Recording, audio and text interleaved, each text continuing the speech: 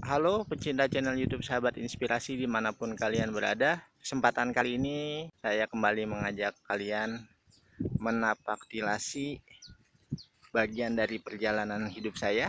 Dan saat ini saya sedang berada di Situ Kongkani, Situ Kongkani, Kampung Pacing Bedeng, RT 01, RW 05, Desa Sumbersari, Kecamatan Pebayuran, Kabupaten Bekasi. Nah teman-teman, situ ini disebut juga dengan danau ya. Kalau orang Sunda nyebutnya situ.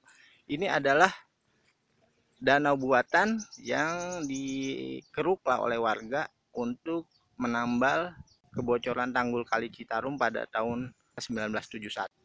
Itu ini pernah terjadi kebocoran tanggul Citarum di daerah sini dan ini jadi danau gitu ya jadi situ yang saat ini airnya dimanfaatkan oleh warga untuk mengairi persawahan mereka. Dan seperti yang kalian lihat di sini sebagian juga sudah ada yang dijadikan tambak dan kolam pemancingan oleh warga.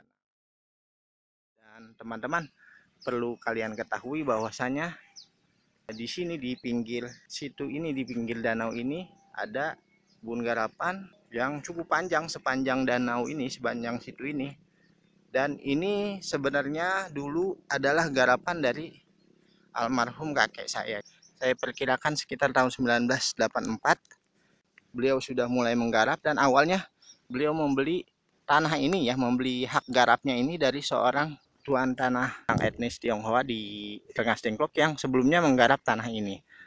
Karena penggarapan tanah ini membutuhkan waktu dan usaha yang besar dari awal mulai membabat rumput kemudian membakar yang sudah uh, terbabat tersebut maka kakek saya memutuskan untuk membangun sebuah gubuk.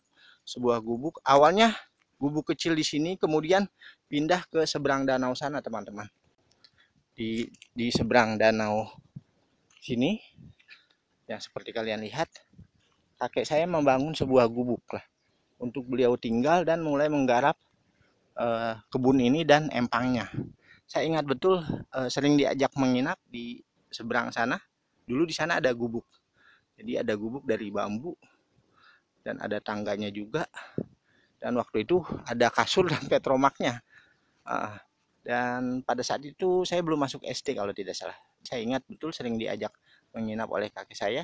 Kemudian karena dirasa gubuknya tidak permanen akhirnya dipindah ke seberang sini teman-teman jadi ini kakek saya membangun kembali gubuk di sekitar sini.